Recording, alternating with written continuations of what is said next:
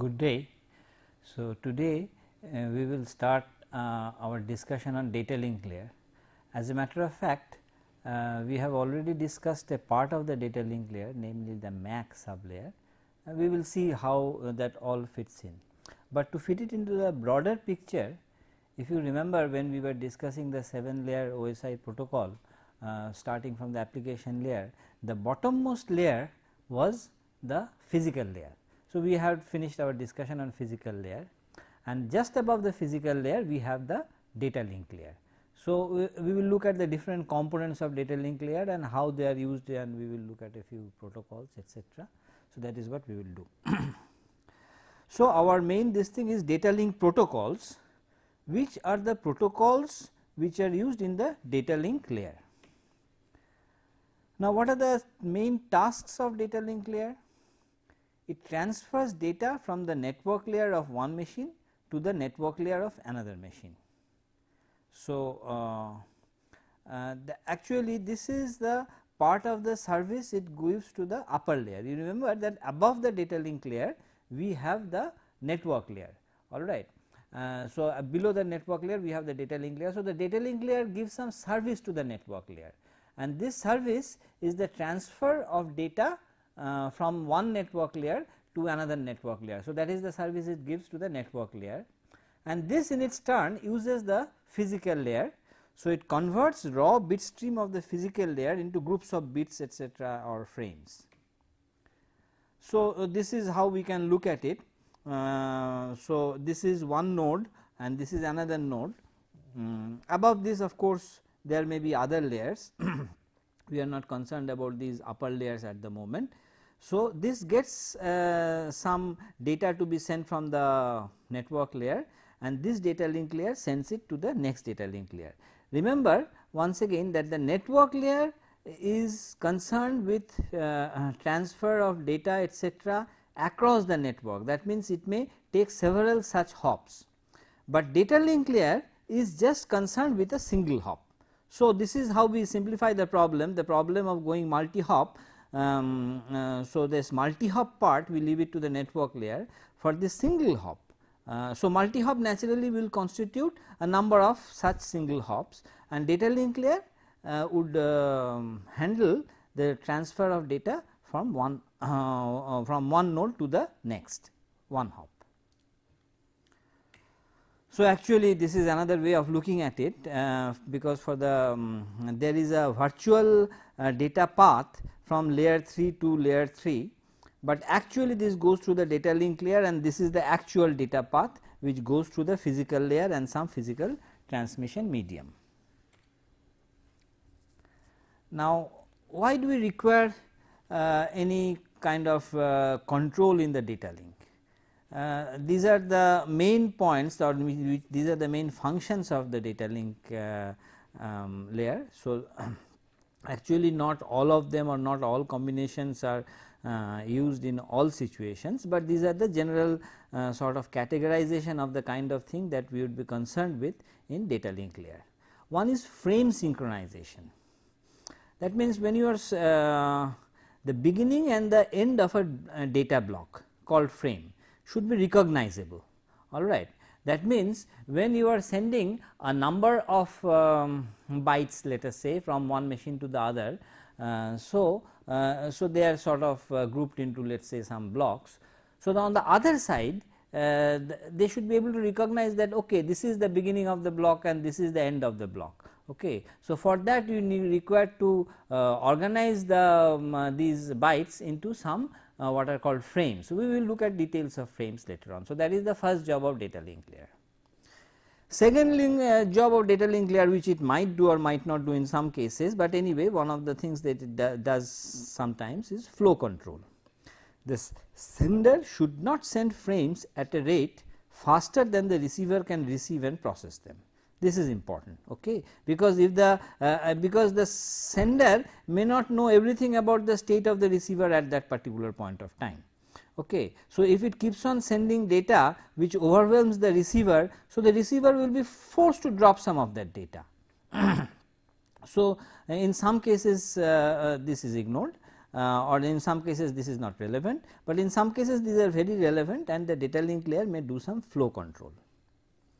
Secondly, error thirdly rather error control.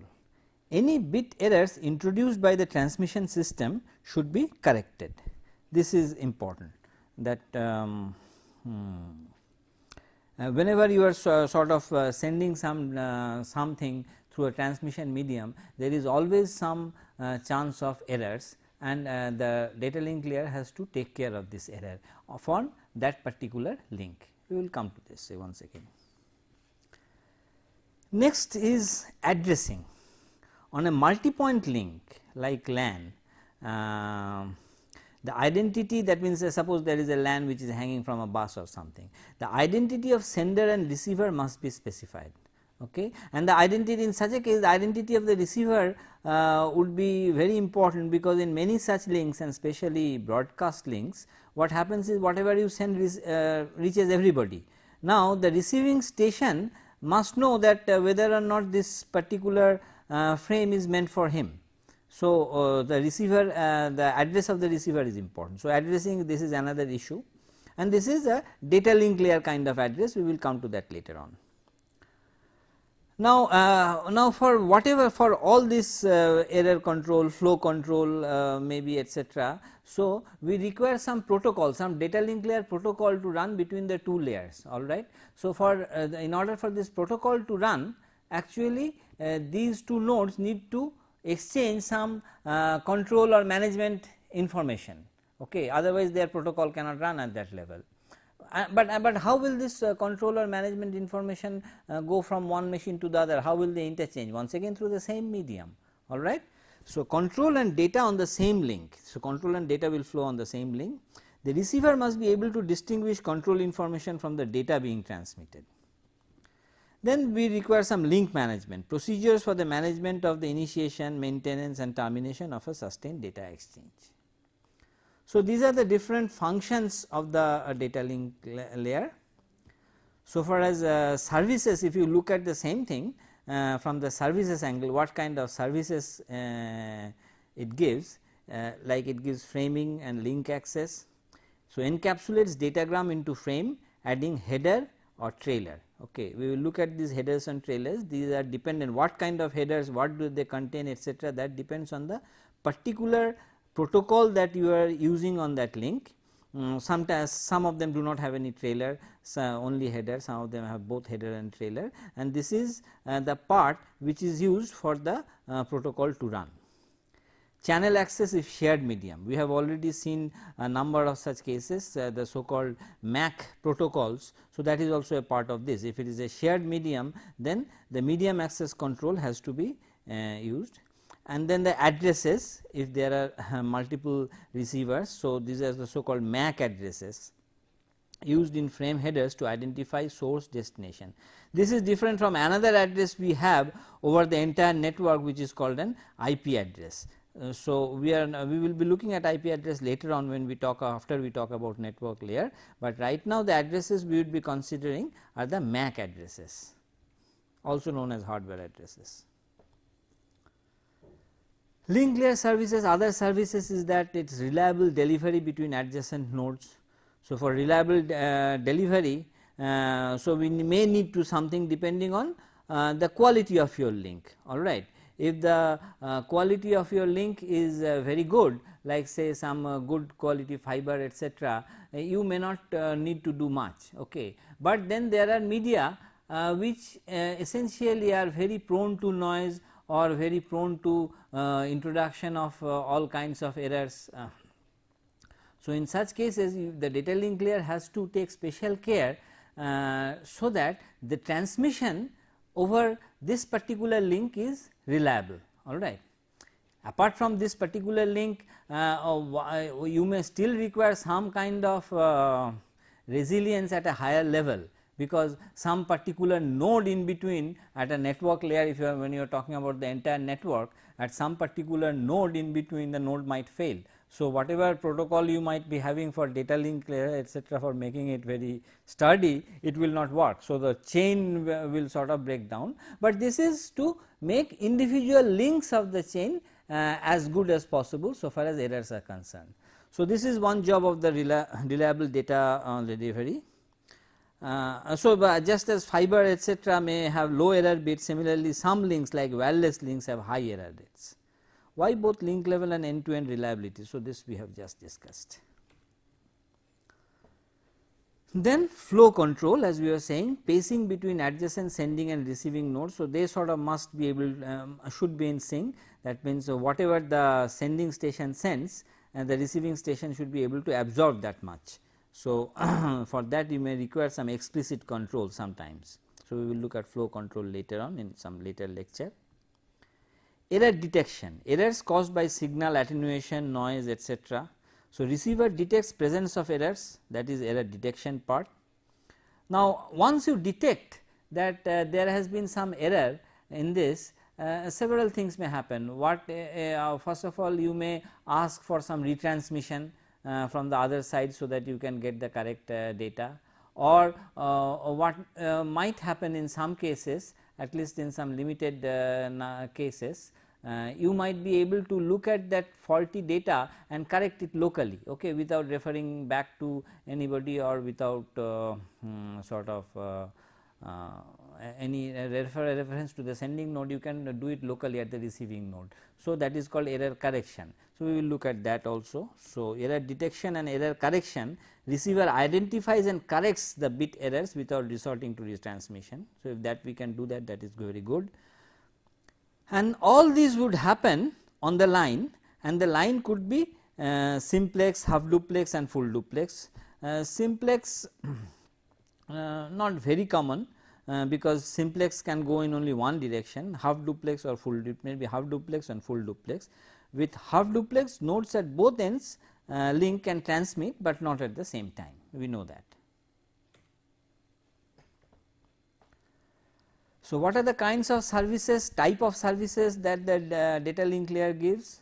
One is unacknowledged connectionless.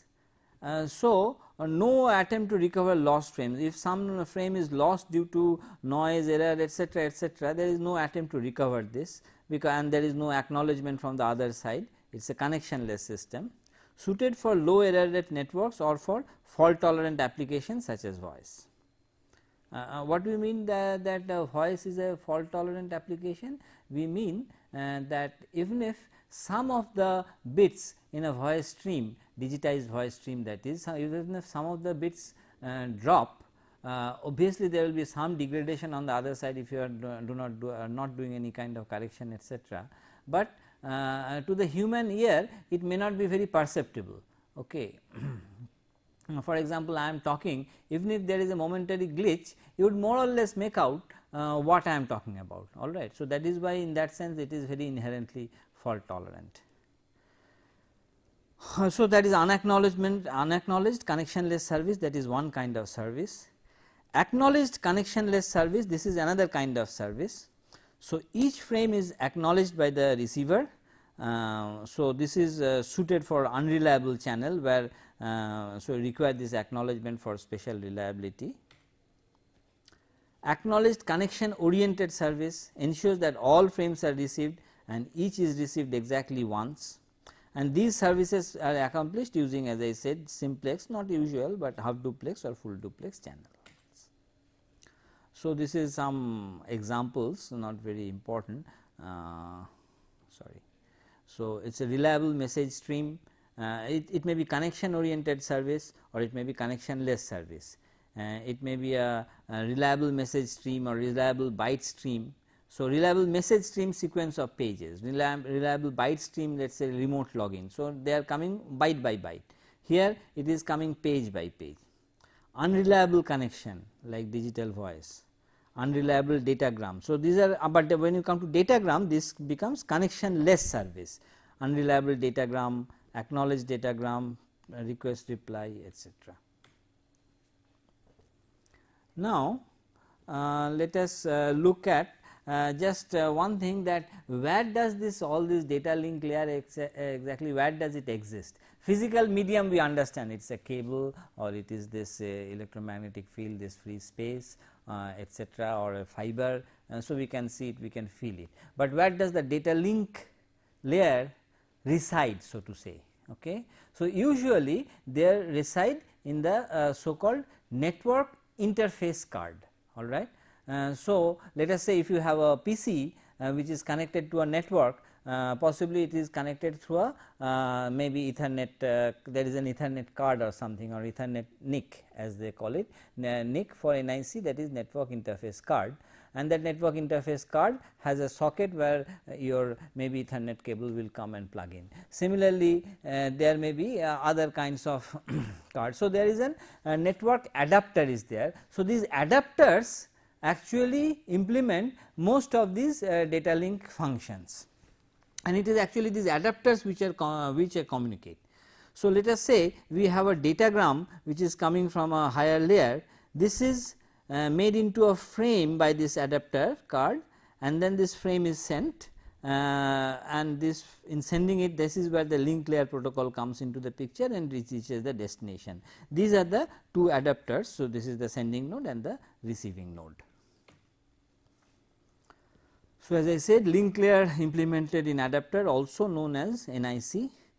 Examples are Ethernet card, PCMCI cards uh, which may be there in let us say laptops and all, 802.11 cards uh, which are used for let us say wireless LAN connection and things like that. So, on the sending side we encapsulate the datagram in a frame adds error correcting or checking bits, RDT, flow control etc and on the receiving side it looks for errors um, uh, or flow control etc., extracts datagram passes to the receiving node. Adapter is semi autonomous and communicates directly with link and physical layers. so, it is basically the adapters uh, where most of these data link functionalities are. Uh, so, it, that, that, of course means uh, that adapter will have some uh, hardware as well as maybe some inbuilt software uh, so, all that is there in that card. Now, we talk about two parts MAC and LLC. Uh, we have already seen about MAC. Actually, the data link layer is divided into two parts. Okay? One is the MAC and LLC as we will see. So, in any broadcast network MAC we know the stations must ensure that only one station transmits at a time on the shared communication channel otherwise they will collide and they will uh, become sort of garbled etc. So, this is the MAC part of it. The protocol that determines who can transmit on a broadcast channel are called medium access control protocol MAC protocol. We have seen a number of MAC protocol like TDMA, FDMA, CDMA, then uh, your uh, token based uh, MAC protocols and so on. We will see a few more in future actually.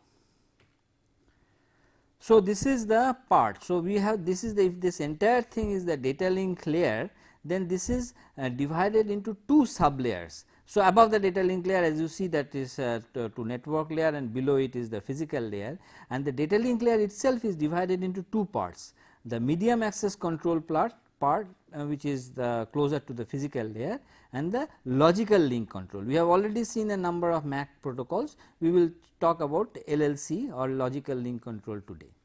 So, the MAC protocol are implemented in the MAC sublayer uh, which is the lower sublayer of the data link layer. The higher portion of the data link layer is often called the logical link control or LLC. And this is the broad picture we have been referring to some um, numbers like 802.1, 2, 3, 4 etc. So, this is what the broad picture looks like. So, IEEE 802 is a family of standards for LANs which define an LLC and several MAC sublayers. So, you see 802.1 is some overview kind of thing. So, this sort of encompasses uh, uh, all these. 802.2 is the LLC part which we will be talking about now and below the 802.2 we have various kinds of uh, medium access control. We have 802.3 802.4 5 6 and now we have 11 15 16 all kinds of there. So the, all these are in the data link layer. Above this are the higher layers and below it are the physical layer. So this is uh, some of the names uh, for the time being. So 802.1 gives you an overview. 802.2 is the LLC that we will be talking about today 802.3 is the famous ethernet. CSMACD is the kind of MAC protocol that it uses. We will talk about that later.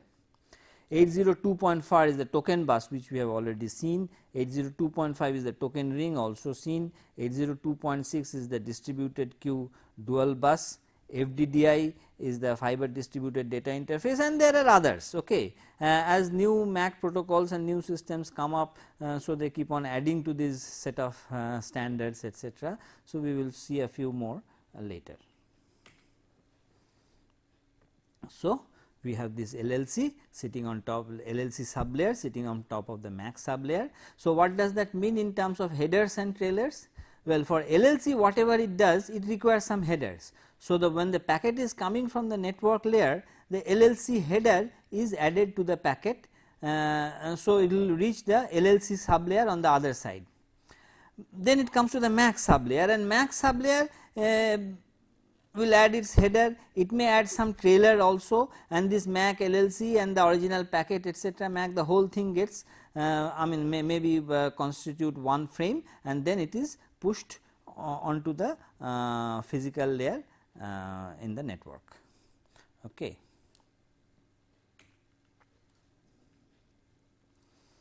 Uh, so, 802 LANs offer a best effort data frame service Error control and flow control are handled by LLC.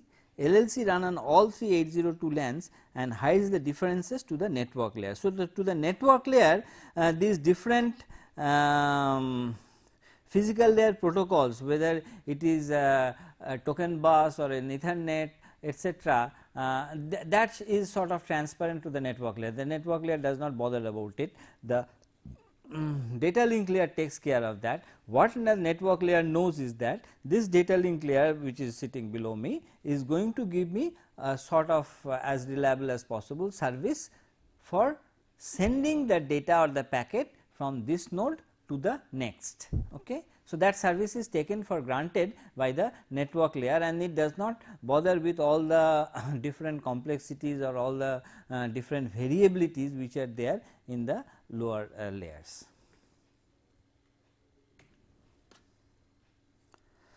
So, LLC adds its header as I showed to the network layer packet it contains sequence and acknowledgement numbers it might why we will see that uh, later.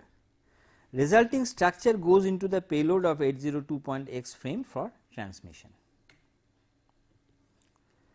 So, LLC operations uh, are uh, sometimes um, sort of divided in this fashion. We have a type 1 operation and type 2 operation and type 3 operation. So, type 1 operation supports unacknowledgement connectionless service. Therefore, the different services we have different types of operation.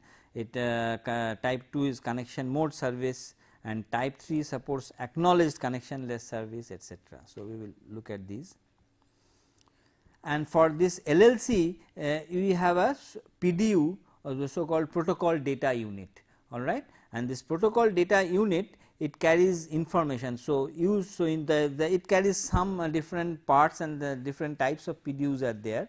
So, uh, the information uh, this PDU so it used to carry uh, user data the control field includes a 7 bit sequence number associated with this PDU. It also includes a piggybacking acknowledgement sequence number. What is piggybacking of acknowledgement we will discuss uh, later.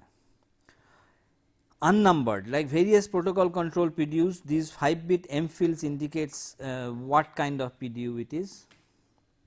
Then there are some supervisory PDUs used for flow and error control it includes an acknowledgement and sequence number and a 2 bit uh, some fields are there receive ready receive not ready and reject etc. These are used for the this may be used uh, for some particular data link protocols. Um, so, type 1 operation we know what it is. The UI of uh, PDU uh, is used to transfer user data. There is no ACK flow control or error control. The XID and test PDUs support management functions associated with all three types of operations that means type 1, type 2 and type 3 operations. So, these PDUs are used for any of these.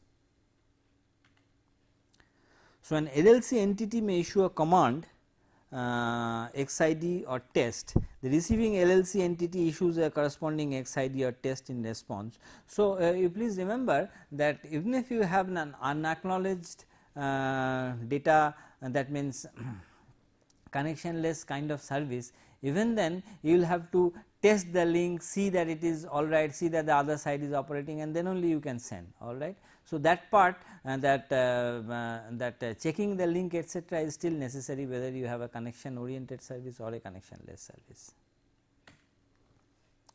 Type 2 operation support the connection mode service. So, type 2 operation involves 3 phases connection establishment, data transfer and connection termination.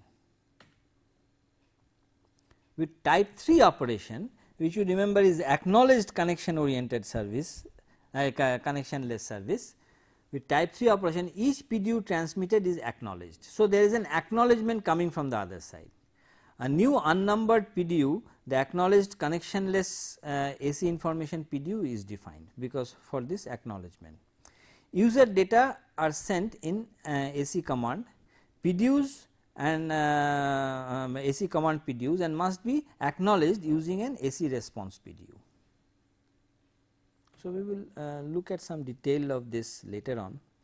To guard against lost PDUs, some PDU which uh, the sender might have sent, uh, it may not have reached the destination, alright. So, uh, if it does not reach the destination, so it may be lost. Now, why it does not reach the destination? Maybe the link failed uh, momentarily, may, maybe momentarily there was a noise burst which sort of garbled the data completely etc. For various reasons the data may uh, get uh, lost on the way. So, you have to make that worst case assumption.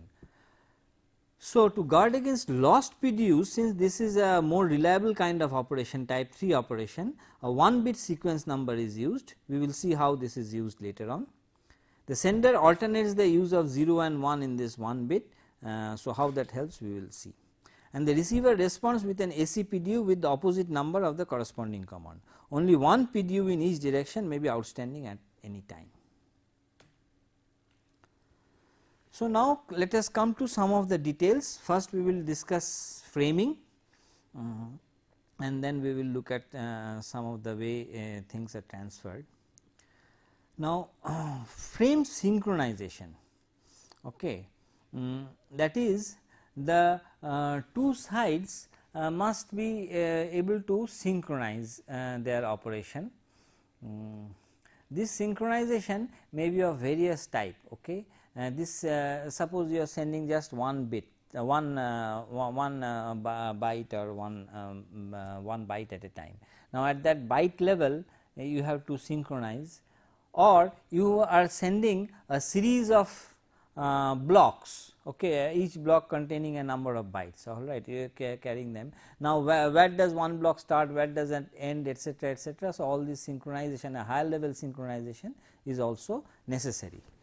So frame synchronization is necessary. When data are transferred from the transmitter to the receiver unless steps are taken to provide synchronization the receiver may start interpreting the data erroneously. Okay suppose you have taken the um, first uh, say the uh, second byte as the first byte uh, you will never know that you have lost the first byte anyway alright. Now, two common approaches are there one is asynchronous transmission and the other is synchronous transmission. So, we will look at both of these. This is asynchronous transmission data are transmitted one character at a time this is what I was talking about an asynchronous transmission. Timing or synchronization must only be maintained within each uh, character. And of course, here the receiver has the opportunity to resynchronize at the beginning of each new character alright. So, if you uh, use some kind of coding like let us say if you remember from our discussion uh, about how uh, data is encoded digitally. So, if you are using Manchester encoding so that there is definitely a transition in the middle of the bit uh, then you can use that transition time to synchronize between the receiving and the uh, uh, sending and the receiving uh, nodes. So, such synchronization is possible. So, when no character is being transmitted the line between transmitter and receiver is an idle state. So, uh, it is an idle state. So, there must be some start uh, and some stop. Okay. So, this is the start of a sequence of characters so data are going and then we may add some parity bits we will later see what parity bits are and then uh, the uh, transmission stops. So, there is a start uh, parity and stop bits. In synchronous transmission here a block of bits is transmitted in a steady stream without start and stop codes. Actually, uh, the I mean in terms of efficiency asynchronous transmission is not that efficient. So, if you are just sending very small amount of just one or a few characters then asynchronous transmission may be alright, but when you are doing a lot of transfer alright in that case uh, you need to I mean asynchronous transmission becomes very inefficient. So, for the purpose of efficiency we need to uh, go for the synchronous transmission where uh, we send uh, a number of blocks each block containing a number of characters.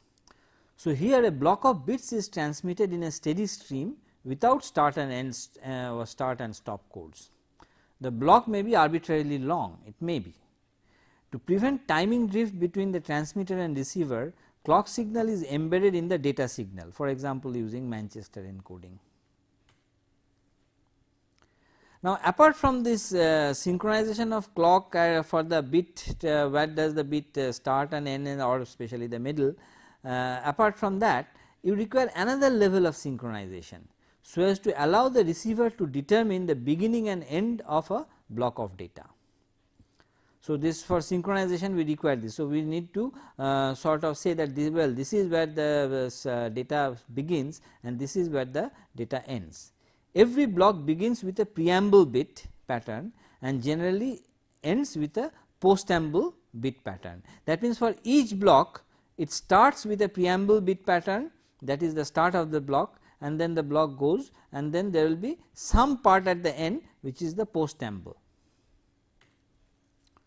Now, the how what kind of preamble or what kind of postamble would be there would depend very much on what kind of protocol, what kind of data link protocol is running all right. Uh, so, different protocols have some uh, all will be having different headers and different trailers or some may not be having any trailer at all. So, here I give some examples uh, I mean you need not uh, remember all this. But this is just to show you for example DECnets these are the some frames. So, okay some so it is it is this whole excepting the body you see that the body is the part which came down from above that means from the network layer the rest of it all this header uh, the part which is coming in the beginning and the part which is coming in the end CRC etc. and they are uh, they have been added at uh, this layer. So, DECnet's uh, DDCMP frame looks like this ATM cells they just have a header CRC and a body then IBMs have had some bisync frame ARPANET IMP IMP frame. So, this is sort of uh, obsolete now ISO's HDLC frame HDLC we will look at details of HDLC later on this looks like this uh, some specific pattern bit pattern then some header then the body then CRC and then again some specific pattern. So, a typical synchronous frame format would have 8 bit flag which would be the preamble then maybe some control fields data fields um, and then maybe again some control fields and then some 8 bit flag at the postamble. Now, for sizable blocks of data synchronous transmission is far more efficient than asynchronous mode. Asynchronous transmission requires 20 percent or more of overhead okay it has a lot of overhead. The control information preamble and postamble in synchronous transmission are typically less than 100 bits actually the overhead is much less here. So, the efficiency of synchronous transmission is very high so, that is why I said that when you are sending a lot of data uh, you would usually go for uh, synchronous transmission which is more common. So, uh, now let us look at the specific things of a specific um, issue of framing translates the physical layers uh, raw bit stream into discrete units called frames. So, sender is uh, sending and the receiver is receiving sender has sent frame 1 frame 2 to frame n. So, you see n frames are on transit and it is going from the sender to the receiver. Now, how can the receiver detect the frame boundaries? Okay. That is how can the receiver recognize the start and end of a frame? There are four methods length count, bit stuffing, character or byte stuffing or pulse encoding. So, we will look at uh, uh, some of these now. Now, frames could be fixed length like ATM all right. Mm, so, ATM cells are of fixed length. So, you know once you have synchronized you know that um, uh, they are going to come with uh, in a 53 byte kind of uh, uh regularity. But uh, frames could be variable length also in which case we use this byte count, uh, byte stuffing, bit stuffing, generic framing procedure, Manchester encoding etc. One is the framing the length count. Make the first field. So, this is the make the first field in the frame's header be the length of the frame. That way the receiver knows how big the current frame is and can determine when the uh, this frame ends. So, if you have a, uh, frame 1 uh, is uh, 5 characters. So, if you write 5 over here. So, 1, 2, 3, 4, 5, 5 characters. So, you know that this is where the first uh, frame has ended and the next one uh, say the sixth byte is to be interpreted as uh, the length of the next frame which is again 5 and then this one is a frame of length 8 and so on. So, you know where each frame star ends and the next frame starts but this has a disadvantage. Uh, so, which is that uh, receiver loses synchronization when bits become garbled. If the bits in the count become corrupted during transmission, the receiver will think that the frame contains fewer or more bits than it actually does. Okay. Now, this is a uh, problem in the sense that uh, when you are um, uh, sending them suppose due to some error etc., the um, count field itself has become garbled. Now, the uh, receiver does not know how many bits are there. So, it may make some assumption which may be a wrong assumption. So, now it will interpret some other byte which is a part of something else maybe data maybe some other control field or whatever as the length of the next frame etc. So, once it loses sync so everything starts getting garbled. So, this is a disadvantage and this is one reason why this is not uh, used much. Uh, you can use a checksum. Uh, so, you can use a checksum. So, we will later on see what a checksum is. We will detect the incorrect frames. The receiver will have difficulty resynchronizing to the start of a new frame. So, this technique is not used anymore since better techniques are available. So, one of the better techniques is known as bit stuffing. Okay.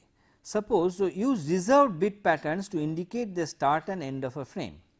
For instance, use the 4 bit sequence of 0 1 1 1 to delimit consecutive frames. A frame consists of everything between two delimiters. So, you have this uh, one delimiter on one side 0 triple 1 and then the frame and then the uh, other uh, 0 1 1. So, this uh, as soon as you get a 0 1 1 you know that a frame is starting and as soon as you get another 0 1 1 you know that a frame has ended. So, this way we can uh, know the beginning of the end of a frame. Okay. Uh, well obviously I do not know whether that is obvious, but there is a problem with this. Problem is what happens if the reserved delimiter happens to appear in the frame itself.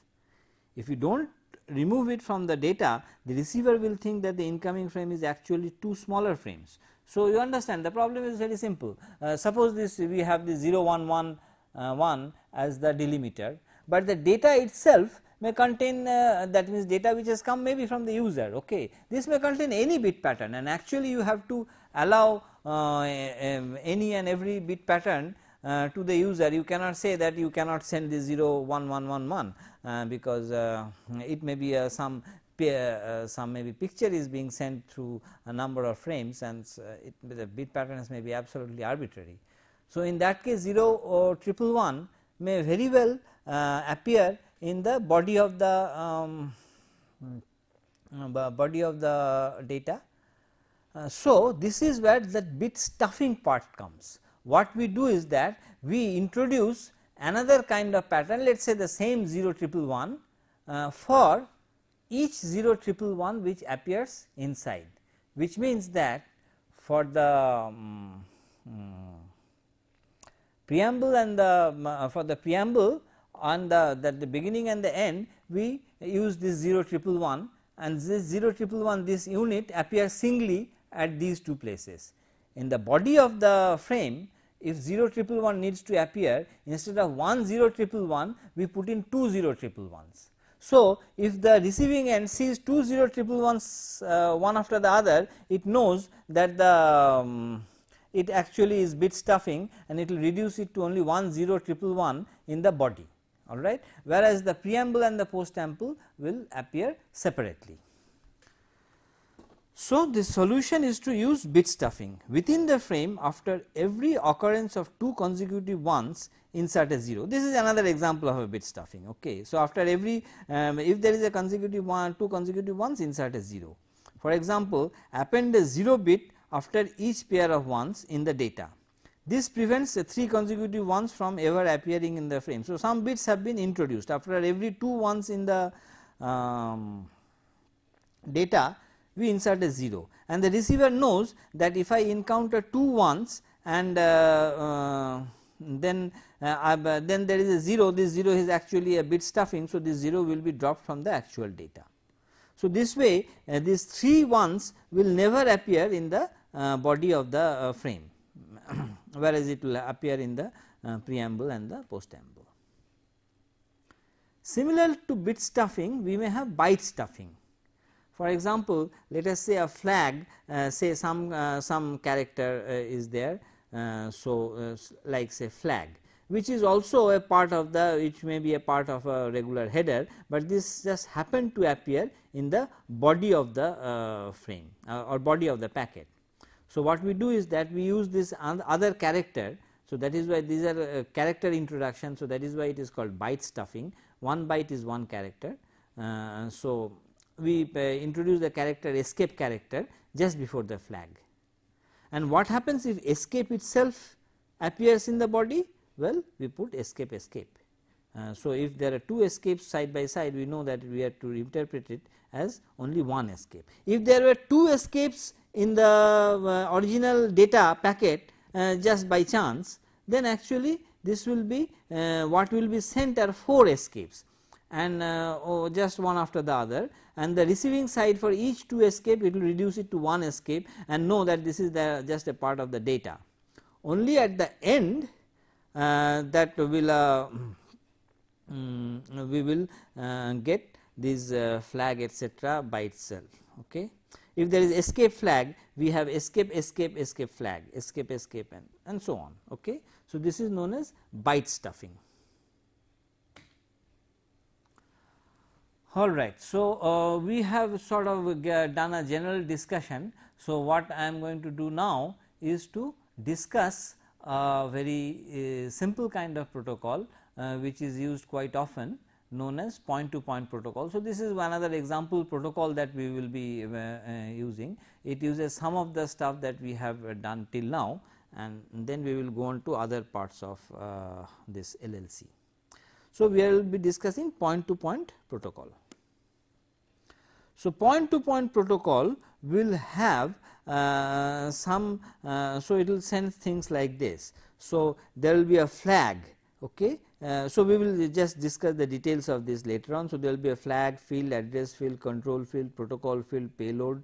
This payload is the one which is actually coming from the higher layers that means from the network layer and some of it will actually come from the user from the application layer itself. So, this is the payload uh, so far as data link layer is concerned then some checksum uh, and some it ends with a flag. So, this is what the general things looks like uh, what exactly they are usually and how they are used I am coming to that. So, in a point to point data link control we have one sender, one receiver, one link. Okay. So, this is the uh, this is the main one thing that there is one sender uh, one receiver and there is only one link. So, in effect there is no question of any uh, media access control that MAC part is not very relevant over here because it is not a shared medium it is just uh, from a this is just a point to point link. So, that is one good thing.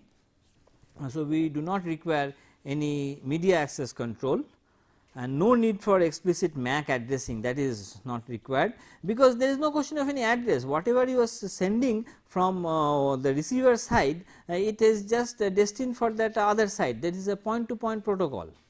Okay. and then uh, and examples are of course dial up links which many people use ISDN lines. So, these are all point to point link when you are using a dial up link for connecting your computer from a remote location actually that is a point to point link your computer is uh, uh, sort of getting directly connected to the computer on the other side there is nothing else. So, popular point to point DLC protocols are PPP point to point protocol which we are discussing, HDLC which I will discuss later, high level data link control. So, data link used to be considered high layer uh, in protocol stack earlier, now it has become very uh, common. So, uh, so PPP design requirements these are given in RFC 1557. Mm, By the way, I do not remember whether I mentioned this earlier this business about RFC which is very very important in the field of uh, um, uh, in the field of networking. RFC stands for request for comment. So, what uh, is happening is that suppose somebody has got an idea well it goes through various stages I am not going into the details of those stages, but at some particular point of time some particular protocol or some particular system etc., they become widely accepted and they get coded into some RFC. And if you want to know the exact technical details of something uh, in the network field, if you know the RFC number, go to the website and uh, get the download the corresponding RFC, they are all freely downloadable. So, you can read them and you can get all the details of any of these protocols uh, systems etc., that are used in the network. Now, this particular uh, um, uh, for PPP design requirements were frozen in this RFC 1557. One thing is that it uses packet framing for packet frame. So, these are the requirements. So, it has to frame the packet encapsulation of network layer datagram in data link frame carry network layer data of any network layer protocol so, that is one thing. So, then the network layer once again just as in the MAC layer we have seen that a number of protocols are possible and then now we are looking at a number of protocols in the upper layer that uh, upper sub layer that LLC layer also. Similarly, in the network layer also different uh, alternative protocols may be possible. So, PPP has to support all this. So, ability to demultiplex upwards so, what is meant by demultiplexing? What is this demultiplexing? So, this is the uh, main thing that it is supporting uh, this different uh, network layer protocols at the same time. Suppose there are two network layer protocols uh, P1 and P2, okay. both of them are using the same link and both of them are using the same point to point link. So, it is using the point to point protocol. So, the both of them will send it to PPP so, uh, that is uh, they, they will get somehow multiplexed and sent on the other side. On the receiving side uh, by taking it, it uh, the receiving node uh, the that that PPP system it will uh, get something it will know whether it is meant for P1 or protocol P1 on the network layer or protocol P2 for the network layer. So, it is separating out. So, this demultiplexing this has to be possible this is one of the requirements. The other requirement is bit transparency which we have talked about which must always be there that means it must carry any bit pattern in the data field. So, whatever you may decide as your flag etc., but finally the, all those bit patterns may appear in the data that is always possible. We require only error detection no correction at the receiving end that is another point. So, we need only error detection. Connection liveness we must be able to detect signal uh, link failure to network layer. So, we must be able to detect whether the connection is live or not.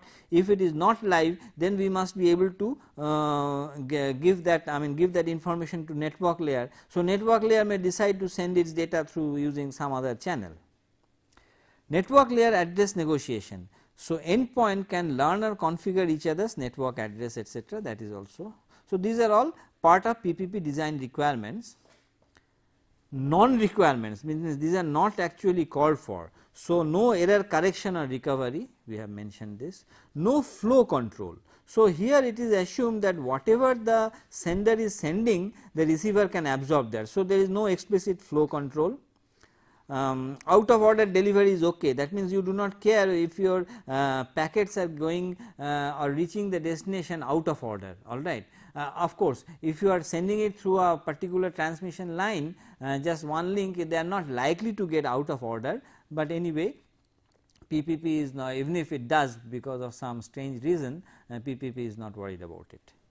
No need to support multi-point links. So, that is also not in its agenda at all it is just point to point. Error recovery, flow control, data reordering if they are necessary they are relegated to higher layers. So, now just look at this uh, once again and see what it does. First one is this flag. So, this flag 0 triple one triple one zero. So, this is the flag which uh, which shows the beginning of the frame and the same pattern shows the end of the frame. Okay. So, they are the delimiter for framing. Address this address is actually meaningless over here because sorry uh, you know that as I mentioned since this is the PPP link uh, whatever you are sending pumping from one end it will reach only one destination on the other end. So, there is no uh, necessity for having a separate address field. So, address field is just used all once does not really serve much of a purpose. Control field also at the moment does not uh, was kept over there because if it is used for some extending this protocol somehow uh, later uh, so, the, the, so this field was there control field uh, once again this is not used. Protocol this is used because upper layer protocol to which frame delivered. Because whatever frame is coming this is when for uh, which protocol? You remember we were talking about that example that in the network layer two different protocols are running uh, P1 and P2 and both of them are using the same PPP in that case uh, on the receiving end by getting a frame uh, you should know that whether this frame is meant for the P1 protocol which is running at the upper layer or the P2 protocol which is running at the upper layer. Both of them are running concurrently. Okay. And then this check this is for some the error detection part how this check is done that we will see in the next lecture and the end delimiter. Uh, uh, so, uh, some in the data frame some info that is upper layer data being carried or check is the cyclic redundancy check for uh, check for error. So, info is the upper layer data. So, this is the bo uh, main body uh, or the payload which is being carried. Check is for error detection. It uses byte stuffing. You see that uh, 0 uh, 6 ones and 0 which is the flag um, uh, so this is 1 byte. So this is 8 bits that is 1 byte.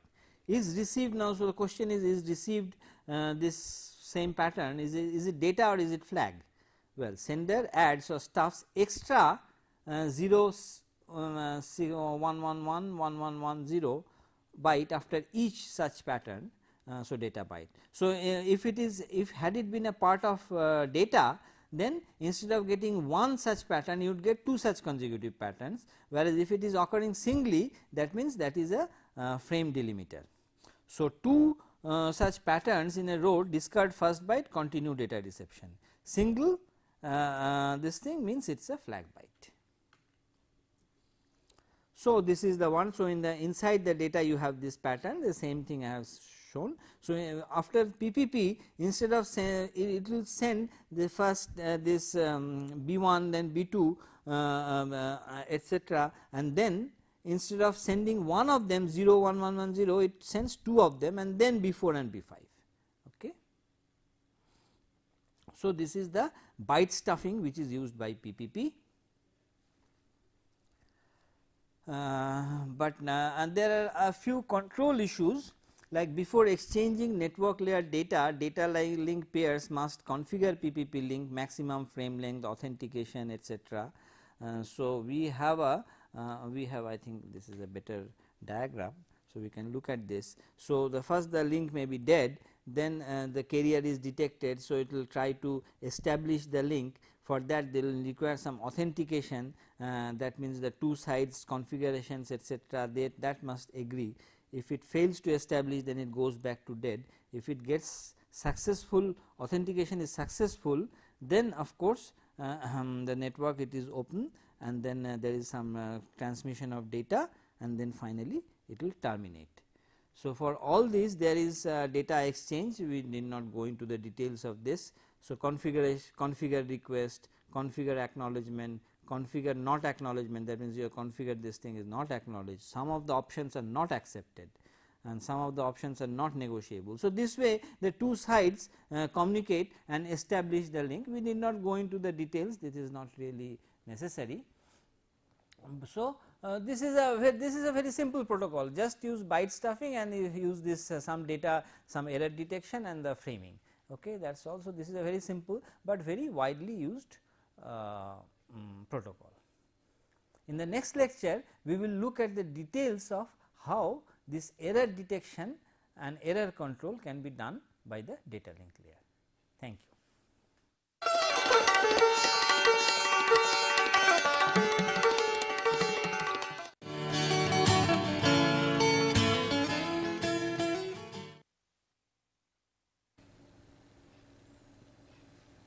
Good day. So, in the uh, last lecture we have seen some uh, functionalities of the data link layer namely framing etc. and we had been uh, talking uh, off and on about that error control um, that is error control means error detection correction etc. Uh, so, we will be talking about error detection correction in this lecture. So, we will be talking about error control now. Now, data errors.